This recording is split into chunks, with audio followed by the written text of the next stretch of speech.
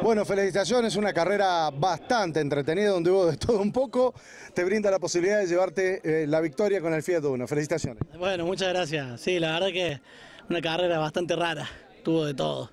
Y la verdad que nosotros no teníamos tantas expectativas. Estábamos más bien terminar la carrera y en mitad de pelotón estábamos felices. Queríamos llevar una copa de pistón para los chicos. Nada más, eso solamente. Y bueno, nos llevamos un triunfo de la galera, así que más que feliz. Bueno, ¿qué le está faltando al, al uno para ir a agarrar la punta? Mira, es un uno nuevo, lo hemos armado de cero.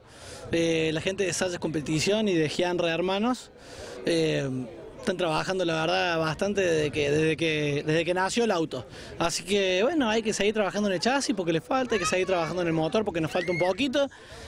Tengo que seguir probando porque yo también hace bastante tiempo que estoy parado, así que bueno, es un combo, ¿no es cierto? Que carrera a carrera se debería ir afianzando. ¿Vos corrías en la clase 1, puede ser? Sí, yo corrí en la clase 1 vieja, cuando se hizo clase 2 corrí un año en la clase 2 y bueno, y después, eh, bueno, tuve familia, los chicos, otras, otras responsabilidades, así que me tuve que parar un tiempito. Bueno, siempre se hace un tiempo para volver a, a este amor eh, incondicional que es un auto de carrera, ¿no? La verdad que sí, se hace difícil vivir sin él.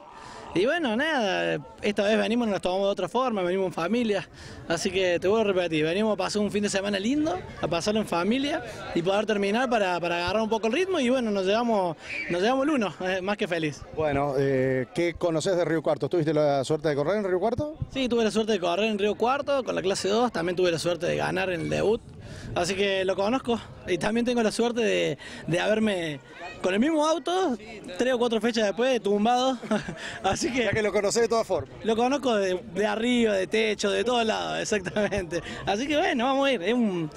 Un circuito que, que, es puro motor, así que tenemos que trabajar fuerte en el motor y bueno, y, y, y las carreras se corren, como dicen, hasta que no se ve la bandera cuadro no se, no se sabe lo que va a pasar. Felicitaciones, Diego. Bueno, muchas gracias, un abrazo, chao.